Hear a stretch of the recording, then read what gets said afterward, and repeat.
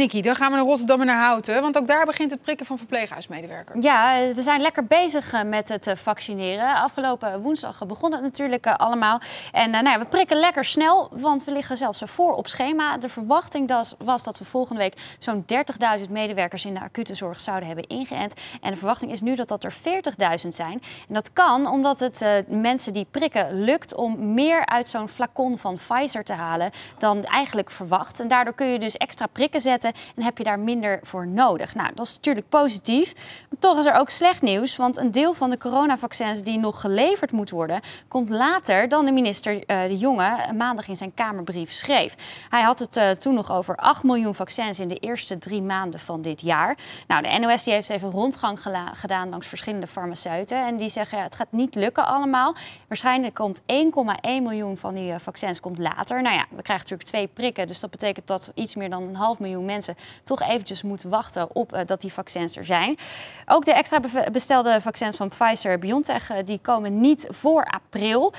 Um, de jongen die zei dat dat al in maart richting Nederland zou komen. Dat gaat om een half miljoen doses.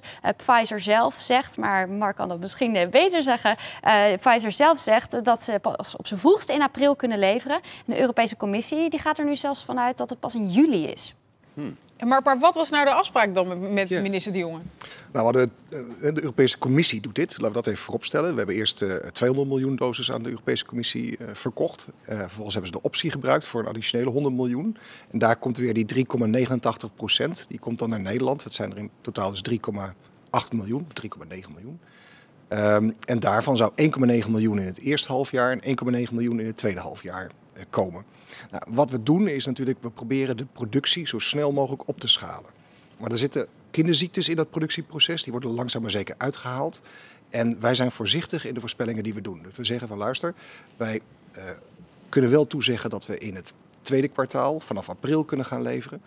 Um, maar of dat ook nog eerder lukt, ja, dat hangt van zo. Maar waarom zegt minister De Jonge dan zo duidelijk de eerste drie maanden? Waarom maakt hij het dan zo moeilijk? Want u zegt eigenlijk, nou, het kan pas vanaf april.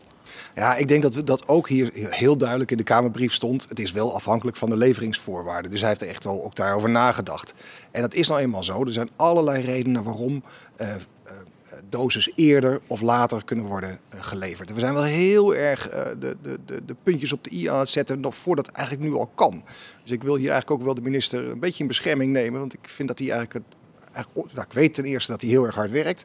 De vaccinatiecampagne staat als een huis. Uh, de levering van de, van de dosis door, door Pfizer en door Moderna komt op gang. Dus ik denk dat we, dat we ook gewoon dit allemaal een kans moeten geven. En ook een beetje moeten leren leven met wat onzekerheden die er gewoon zijn.